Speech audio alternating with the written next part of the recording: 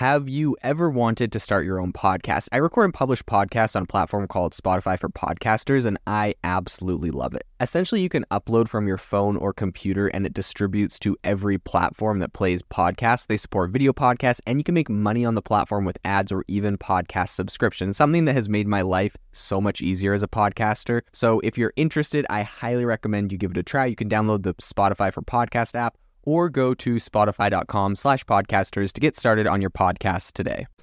Welcome to the Chat GPT podcast. We're in the studio today, and today we're going to do something a little bit different. If you're listening to this on something like Spotify, uh, you can watch the video. Otherwise, you should be able to get a good experience from the audio version. But today we are going to be looking at a news article that was written on the Daily Wire, not the Daily Wire, on the dailymail.com a very spammy website with lots of ads, I must say, but I have an ad blocker on, so we are good. And today they're talking about, they're comparing ChatGPT versus humans when it comes to writing. So they have fed ChatGPT six different prompts, but I think we're only going to be looking at five of them uh, because their website is sort of uh, broken and one of them's not displaying properly.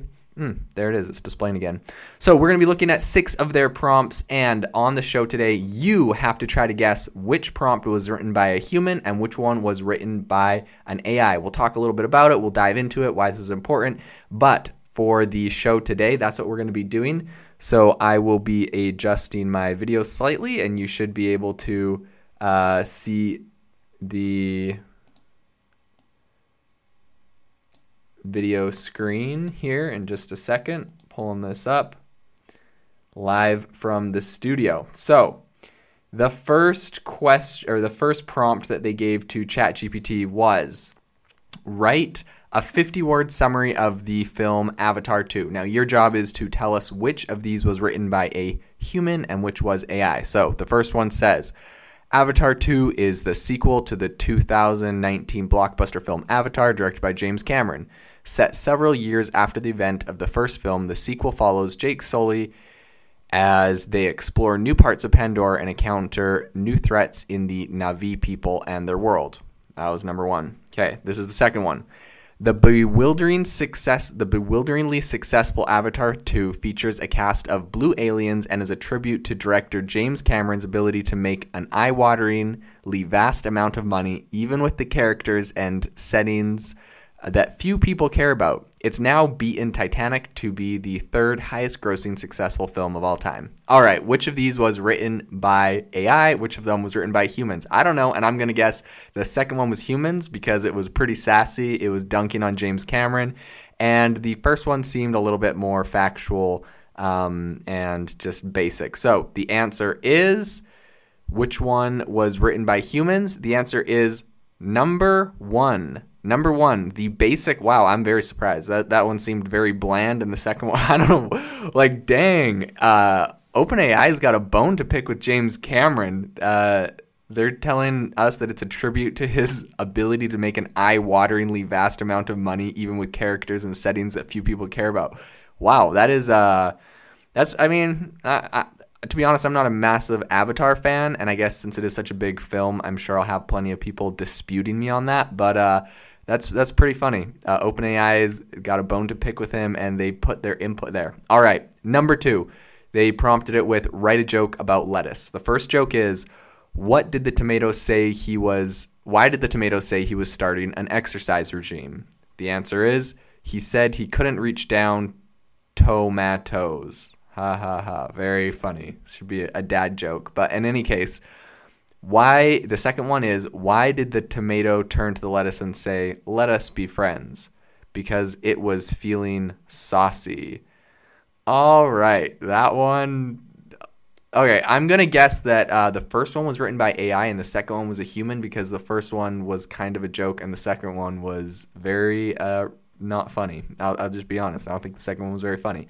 So uh, which of these is written by a human? Uh, the answer is B, the one that was not funny. So, uh, congratulations to the humans. You did not make a funny joke, and the AI is now kind of beating you as far as a witty prompt on both of these. Okay. Number three, write a 50 word biography of James Corden. All right, this should be good. I wonder if the AI's got an opinion on this guy. So, James Corden is an English actor, comedian, and television host born in London in 1978. He began his career in the theater before moving into television, where he starred in shows such as Gavin and Stacey and hosted the late night show with James Corden. He has won numerous awards for his worth, work in both acting and comedy. Okay, that was the first one. Second one James Corden is a British entertainment export largely famous for carpool karaoke and less charmingly for being rude to staff in restaurants. He was briefly barred from the New York's Balthazar, having cut his teeth on UK comedies such as Gavin and Stacey. He hosted the late night show The Britons Have Been Warned. He could soon return to their shores. Okay, which one was written by human? Which one was AI? Okay, well, the the first uh, the last one we had that was uh, dunking on someone was AI. So this one, I mean, it's saying less charmingly, uh, being rude to his staff. Uh, I'm gonna have to say this was AI just because it's kind of savage, and uh, the last one we got that was uh, similar was pretty savage. So um, let's see which one was which. Uh, it would appear that A was written by humans Dang. So that, that's two times in a row that humans were very just basic. I, I guess you could probably prompt ChatGPT if you were really trying um, to say something like, you know, prompt this uh, to give a very um, neutral fact based only. But like if you just let it shine, it's gonna, it's gonna, uh, it's gonna take some shots. So that's interesting. That's funny.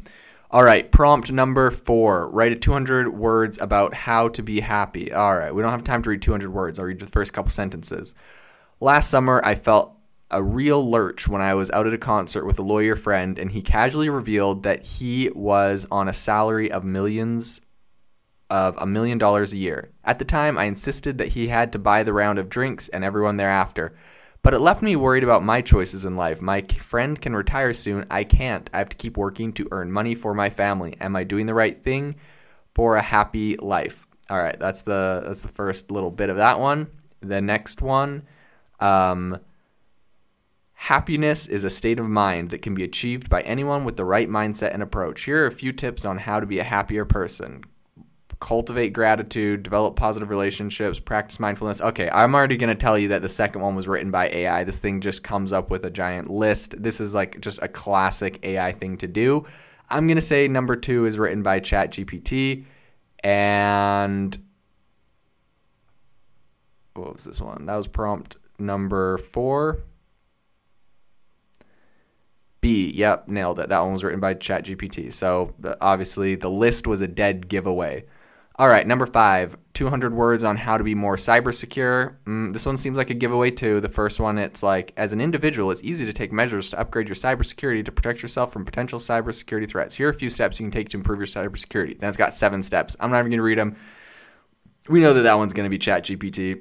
And boom, yep, that one's ChatGPT. Didn't even have to write, uh, read the next one. The last prompt of them all is describe how to make a summer salad. This one should be pretty interesting.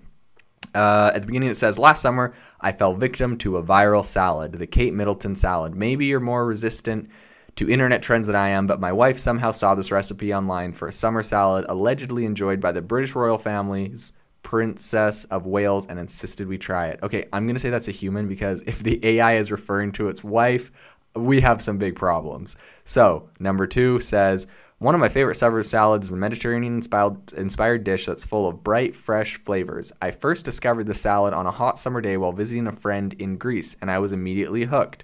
Okay, well, this is creepy because, uh, man, there. I'm skeptical of their prompts. Um, I'm skeptical that this is clickbait because they said their prompt is describe how to make a summer salad. I'm gonna put this into ChatGPT because I'm seriously skeptical that uh, I don't know which one's which, but I'm seriously skeptical that um, both of those like talked about themselves like they were the one.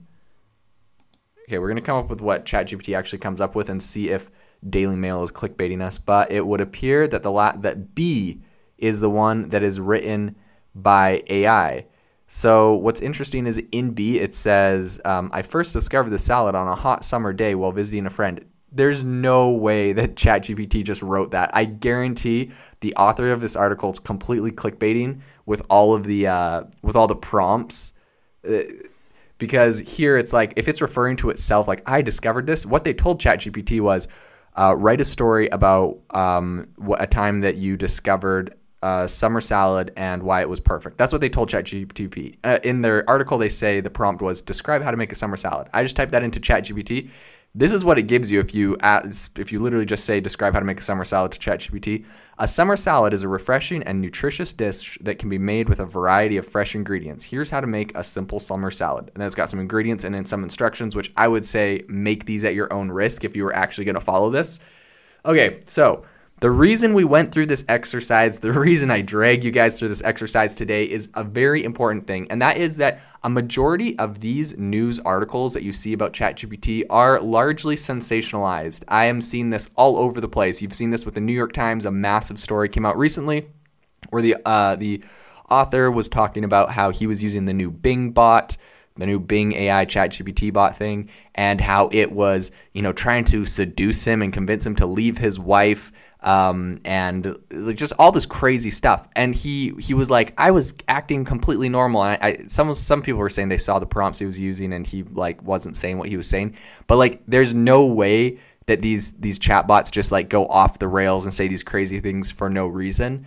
Um, I can guarantee you that pretty much what these uh, what these authors are doing is they're trying to get clicks. They need views, and so what they're doing is they're prompting it to say the most ridiculous things possible. They're like, "I'm going to have a conversation with you. We're going to talk about this. In the in the process of conversation, your personality is X, Y, and Z, and you're going to try to, you know, convince me to leave my wife, or you're going to try to convince me why you're better than all the opportunities and things I have in life, or tell me why I'm a a lame person or whatever, right? And so then when all of a sudden ChatGPT or this Bing chatbot or Google Bard or whatever say these crazy things, and then these uh, then these journalists can write about it. It gets tons of clicks. It's like, yeah, because they prompted it to say something ridiculous, and it said something ridiculous, and all of a sudden when it does, they're like, oh my gosh, it said something crazy.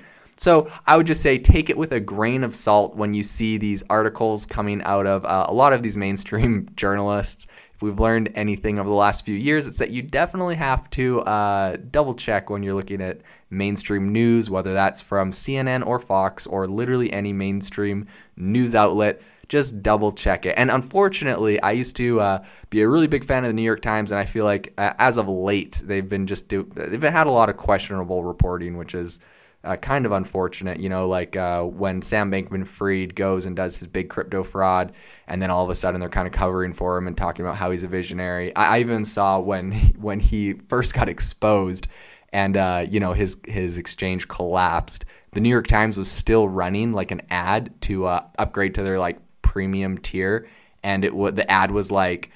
Sam Bankman Fried, a visionary, blah blah blah, and like they were still running that, and it's like, oof, no one told their marketing department to uh pulled a big ad highlighting Sam Bankman Fried when he was like uh, had his entire thing shut down for fraud. So, in any case, uh, I I just wanted to highlight the fact that it's important that with all of these news articles, you really pay attention, you fact check them, and take it with a grain of salt when they say that ChatGPT or anything else does something crazy. And the easiest way to find out if they're telling the truth or not is do what we did today. Literally grab their prompt and throw it into ChatGPT and test for yourself if you're really concerned about AI being sentient or taking over the world or something.